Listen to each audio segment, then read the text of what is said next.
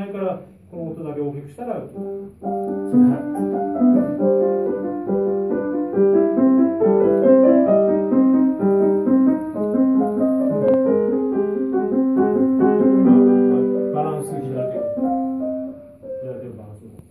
左手静かに書いて左に今手の奥右手も同いった。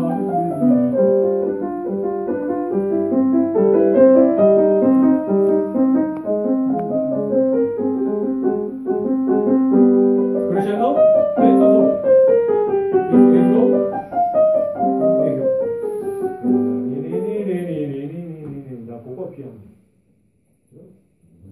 Good.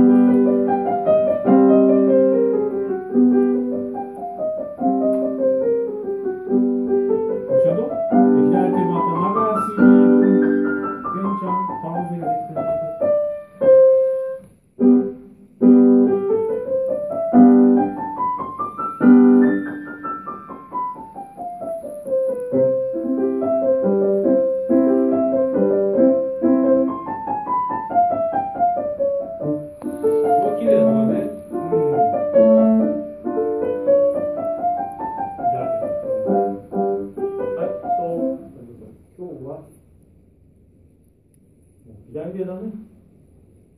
一番長い。左手のパウンド。全然。ちゃんとできてる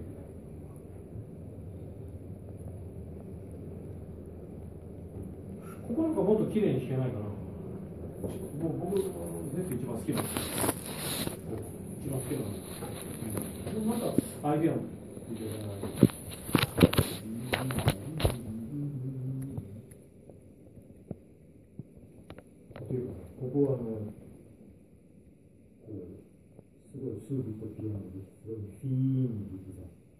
で。も。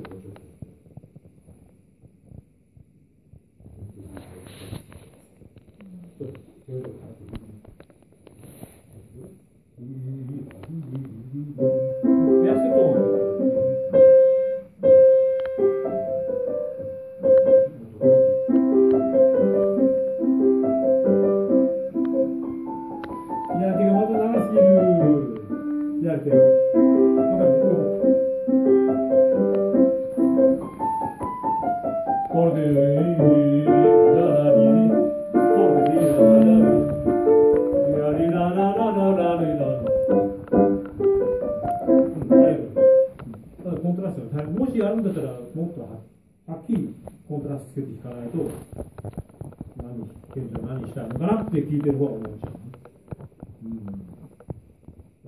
ね。うん。演奏楽器弾くんだったらやっぱり僕たちはステージの上でエンターテイナーだからね。わかるかなお客さん楽しめる、楽しませる仕事なんです。ね。あの、学校とかコメディアンも同じ。クラシックピアニストも同じ。もうたくさん僕、あの、ケンちゃん、パパ、ママさんにもそうして、ね、おじいちゃん、おばあちゃんも来てくれたり、僕の他の生徒のよしですやっぱりさ、あ、まだこんな、まあ、小学校のところとか、こんなにお面白い、楽しそうに綺麗に弾いてるんだなっていうふうに思わせたら、ピンポーンってしたんだよ。わかるうん、あの男、まあまあ、まあまあよく綺麗に弾いてたね。それじゃあ僕は、僕は絶対ツーフリーでしない。ケンちゃんはやっぱり、弾けるからさ、ちゃんと。それ以上にやっぱり期待ししとる。わかるそのためにやっぱそういう、僕が今日言うようなことをしないと、人こあの心に残んない。とか、耳に残んない。ケンちゃんの演奏が。僕はあの、ケンちゃんが弾いたら、うちの奥さんとか、直美とかも、ケンちゃんすごい綺麗、本当綺麗に弾いてたねっていうのを次の日も言ってくれるようにしてほしい。わかるそうそれぐらい、まあ、人のために弾くわけじゃないけども、やっぱそれも僕たちの大切な仕事なんですね。アーフカーで、ピアニストとしてね。だからあの、僕はあの、シロさんは思うんですけど、生徒を僕はあの、ステージに送って弾いてこいって言ったら、やっぱりあの、僕はあの、私はただただのピアノのシューラシューラリーだから弾けますっていう、それはダメっていう、厳しいんですよ。ちゃんとなんあの目標を持って弾いてこいです。でちゃんとあの教師を納得させるんです。それすごい厳しい。うんケンちゃんはそれはもちろん、本番だったらそれやる人、やる人なんだよね。それはわかる。でもまあ、うそうですね。もうそういう心がけで。そういう心がけで、やってる人とやらない人と全然あの、パートラック人で、ええまあ、一回他のせあのクラス聞き入れたら面白いと思います。はい。あの全然そういうのをちゃん。と教えてる人と教えてない人ああ、すごいなるほど。はい。それ僕もあの結構ああちこちこうエクスペリテで行ってえ、ええ、ヨガ大変してるから分かええ、ものすごいプロター。ンプロターンです本当にあこの先生ちゃん。と教えてないええすぐ分かっちゃうもう最初一人の生徒で分かっちゃうねああ、なるほどね。はい。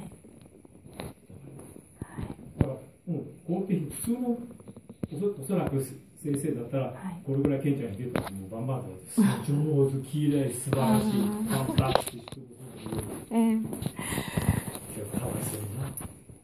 今の先生来たらそれはいかんのやな。ごめんね、げんちゃん。先生変わったいやいやいや、そんなこもうい褒めてもらう先生変わったらいいかもしれない。ね。